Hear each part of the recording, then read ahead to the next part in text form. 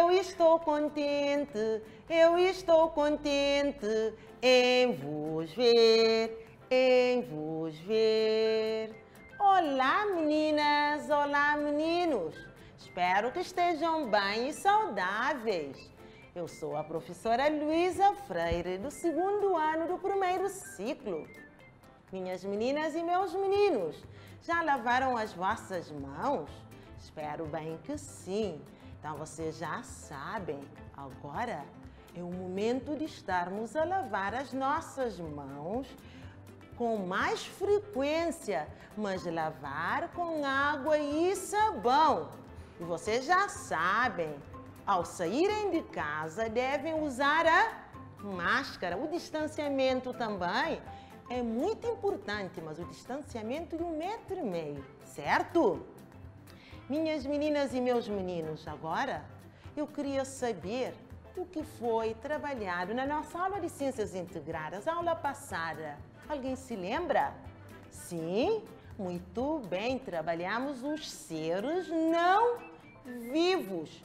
Os seres não vivos são aqueles que não têm vida, mas fazem parte da natureza. Os seres não vivos não nascem, sim, não crescem, não se reproduzem, não envelhecem e não morrem.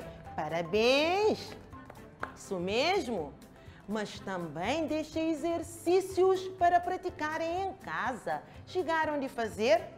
Com certeza, vocês são alunos espetaculares.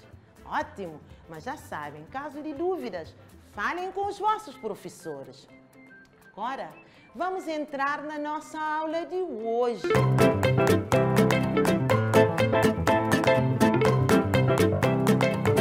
Hoje vamos trabalhar o estudo dos animais domésticos e selvagens. Certo, minhas meninas e meus meninos? Para essa aula precisamos do caderno e lápis de carvão. Mas antes eu gostaria de cantar aqui uma canção sobre os animais. Gostariam de cantar comigo? Então vamos lá, eu vou cantar. Depois vocês vão cantar comigo, tá bem? Um dia Noé a floresta foi e disse aos animais, todos à sua volta, o Senhor zangado, dilúvio mandará. Vós não tem desculpas, eu vos salvarei. A dois crocodilos, um morango tango, duas serpentinhas, uma águia real, um gato, um rato, um elefante, não falta nenhum. Só não se vai os dois licórnios. Gostaram da canção? Então vamos lá repetir mais uma vez? Vamos lá. Um dia Noé a floresta foi e disse aos animais, todos à sua volta, o Senhor, zangado, dilúvio mandará.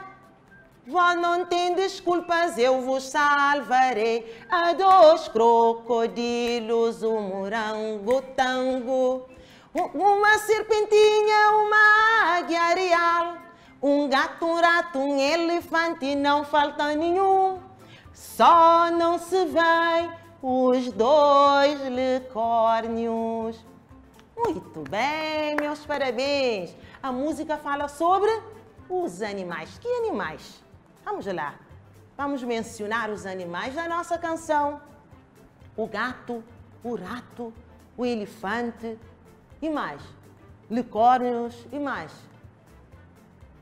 Vamos lá recordar os outros. Há dois crocodilos, um morango tango, também mais um animal. Duas serpentinhas, uma águia real, também são animais, certo? Agora, minhas meninas e meus meninos, vamos observar alguns animais. Nem todos que vocês vão observar não fazem parte da canção, mas são animais, certo? Vamos lá. Temos aqui exatamente o gato, o leão, o cão, aqui o porco, o elefante, o burro, a vaca, a cobra, o pato, a girafa e a galinha. São animais, quer dizer, eles são seres vivos, certo? Eles nascem, crescem, eles também reproduzem-se, envelhecem e morem. Fazem parte da natureza. Estão a recordar a aula passada sobre seres vivos? Muito bem. Agora, atenção, minhas meninas e meus meninos. Animais domésticos. O que é isso de animais domésticos? O que vocês sabem sobre animais domésticos? São animais que vivem perto das pessoas. Esses animais são carinhosos. Esses animais são amigos das pessoas. Vivem lá em nossa casa. Então agora vamos observar. Aqui temos uma casinha, não é? Um menino com um cão a brincar. Significa que esses animais são amigos das pessoas. Temos aqui o gato, temos o cão, o porco, a galinha. Eu não tenho todos os animais domésticos, eu tenho alguns. Agora vamos ver. Por que, que eles são chamados de animais domésticos? É porque eles são dóceis, quer dizer carinhosos.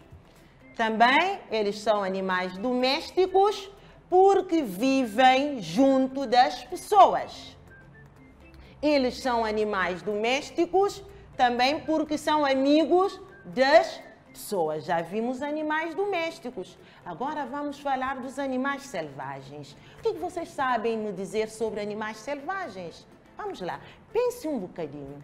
Sim, os animais selvagens, sim, são aqueles que vivem na floresta. E eles são inimigos do homem, eles não gostam de nós. E mais, eles são furiosos, eles são maus. Agora, minhas meninas e meus meninos, eu vos convido a ver os animais selvagens. Eu não tenho todos, eu tenho alguns. Então vamos lá. Animais selvagens. Uma imagem bonita, não é verdade? Temos aqui o leão, aqui a cobra, o elefante e a girafa. Agora, vejam só a cara do Nhodo. Ele ficou assustado, coitado dele ali na floresta. Os animais selvagens são inimigos das pessoas. Agora que afronta minha gente. Ele apareceu aqui na floresta, ficou assustado. Por que, que chamamos esses animais de animais selvagens? É porque eles são, vamos lá ver, eles são, vamos, são ferozes, eles são maus. Eles são também animais selvagens porque vivem na floresta. Eles são animais selvagens porque são inimigos das pessoas. Muito bem. Então vamos ver, são ferozes, vivem na floresta e são inimigos das pessoas. Minhas meninas e meus meninos, agora vamos ao exercício poder ver se já entenderam ou se já sabem distinguir animais domésticos de animais selvagens. Então vamos lá.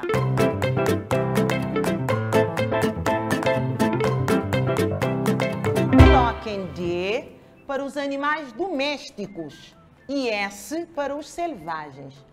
Os animais domésticos, vamos colocar o D, quer dizer domésticos. Os que são selvagens, vamos colocar o S. Percebido? Estão a acompanhar? Ótimo! Temos aqui o elefante, temos o leão, o coelho, aqui, o cão, a girafa e o gato. Agora vamos lá identificar os que são domésticos e os que são selvagens. Vamos lá ver. O elefante, doméstico ou selvagem? Exatamente, selvagem. Então colocamos o S. Passamos aqui para o nosso leão. Ele é animal doméstico ou selvagem? Qual é? Exatamente, ele é um animal selvagem. Colocamos o S. Passamos agora para o nosso coelho. O coelho é um animal doméstico ou selvagem? Quem já acertou? Vamos lá. O coelho é um animal muito bem doméstico. Colocamos o D. E o cão? O cão é um animal doméstico ou selvagem? Qual é? Alguém já acertou? Qual é a resposta? Ele é doméstico muito bem. Então colocamos o D. Passamos aqui para a nossa girafa. A girafa, alguém já descobriu? É doméstico, é um animal doméstico ou animal selvagem? Qual é a resposta? Exatamente selvagem. Então colocamos o S. Passamos agora para o gato. O gato é um animal doméstico ou selvagem? É exatamente doméstico. Colocamos o D. Agora já sabem distinguir os animais domésticos de animais selvagens, certo? Combinado? Então não há dúvida sobre animais domésticos e selvagens?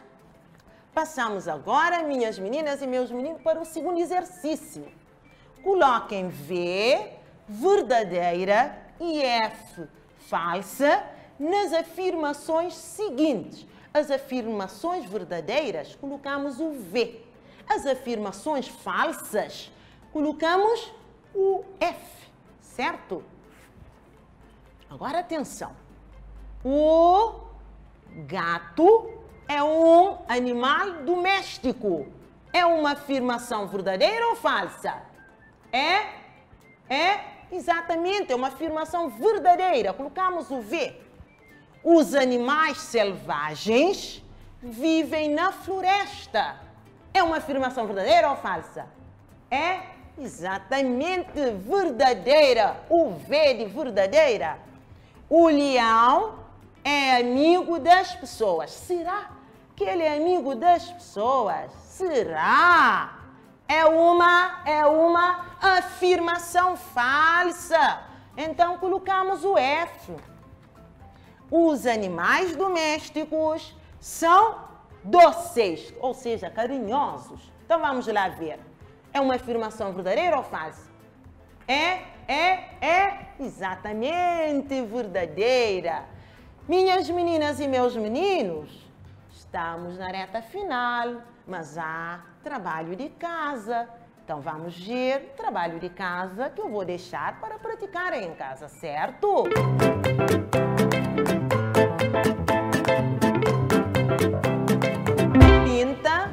os animais domésticos.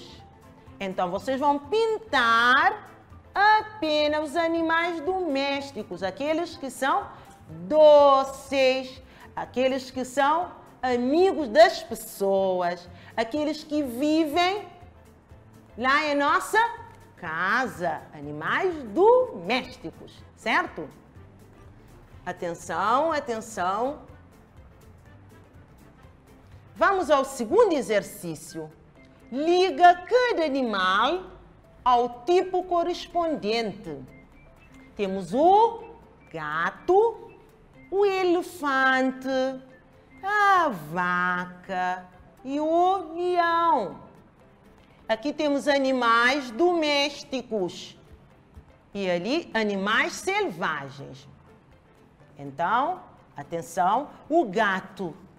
Para onde ligar o gato? Para animais domésticos ou selvagens?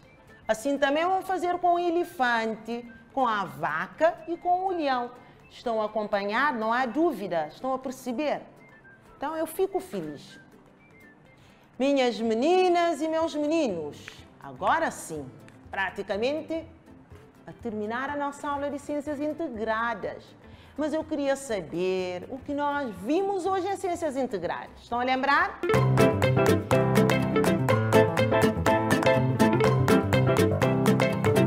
trabalhamos animais domésticos e selvagens. Então vamos lá ver. Os animais domésticos são doces, são carinhosos. Os animais domésticos são amigos das pessoas. Os animais domésticos vivem perto das pessoas. Agora, os animais selvagens, como é que eles são? Eles são ferozes, eles são maus, eles vivem exatamente na floresta e eles são inimigo das pessoas, eles não gostam de nós. Certo, minhas meninas e meus meninos? Agora eu deixo algumas observações sobre Covid-19. Essa doença é perigosa, mas vocês devem ter muito cuidado. Estão a lembrar a Samira? A Samira disse-nos: não é preciso ter medo, mas é preciso ter cuidados. Que cuidados são esses? De não levar as mãos para os olhos, para o nariz e para a boca. Ao expirar ao tossir, podem até utilizar o lenço, mas logo depois deitar no lixo e lavar as mãos, imediatamente lavar as mãos com água e sabão. Ou então, ao tossir e ao expirar, podemos utilizar a curva do cotovelo, certo? Fiquem bem, estudem as lições, comportem-se bem e eu aqui fico feliz. Certo, minhas meninas e meus meninos? Um dia Noé à floresta foi e disse aos animais, todos à sua volta, o Senhor, zangado, dilúvio mandará. Vós não tem desculpas, eu vos salvarei. A dois crocodilos, um morango tango, duas serpentinhas, uma águia real, um gato, um rato, um elefante, não faltam nenhum.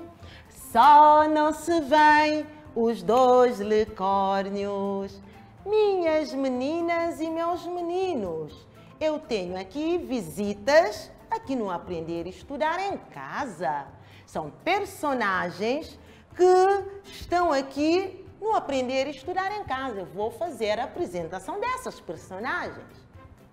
Tem aqui grupo dos animais selvagens. E aqui, do outro lado, eu tenho os animais domésticos. Eles são seres vivos como nós. Eles nascem, crescem, reproduzem, envelhecem e morrem. Ficamos por aqui no Aprender e Estudar em Casa. Até a próxima. Tchau, tchau.